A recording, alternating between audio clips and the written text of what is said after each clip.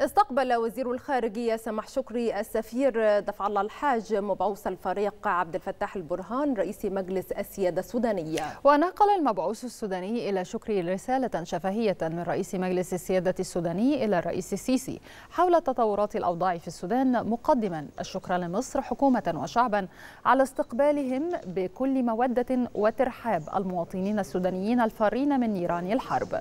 وأشار شكري إلى توجيهات الرئيس السيسي لجميع أجهزة الدولة المعنية منذ اليوم الأول للأزمة في السودان بتوفير أكبر قدر من الرعاية وحسن الضيافة للأشقاء السودانيين.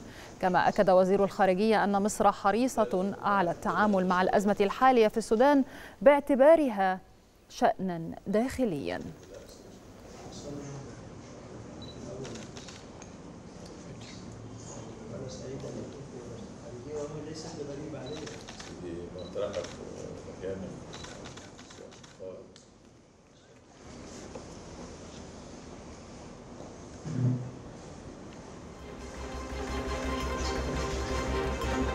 Δεν, δεν έχουν δουλέψει σοβαρά.